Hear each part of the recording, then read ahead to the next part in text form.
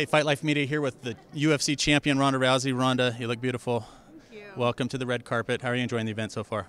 You know what? I was only okay until I saw you and your hairdo, and now I'm fabulous. That's funny. I'm speechless, guys. Okay, so Ronda. You're blushing. Yes, I You're am. So cute. So six wins, six stoppages in the first round by submission.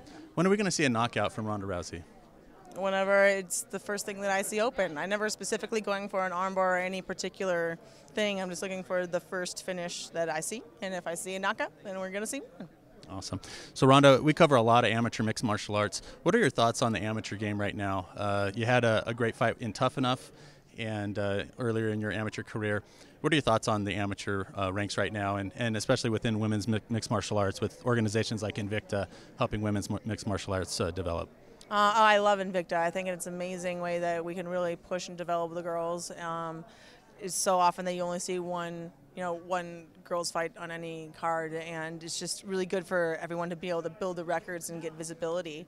And you know, with the amateur circuit, I love Tuff N Uff, man. It was it's really really cool to have really good, professionally put together venues when you're still an amateur and finding your feet.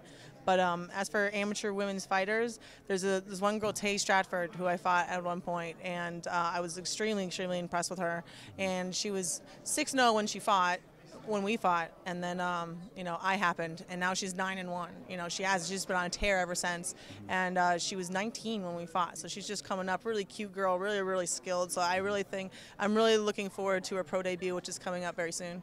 Awesome. Ronda. thank you for your time, and uh, you know, good luck with all your awards that you're nominated for.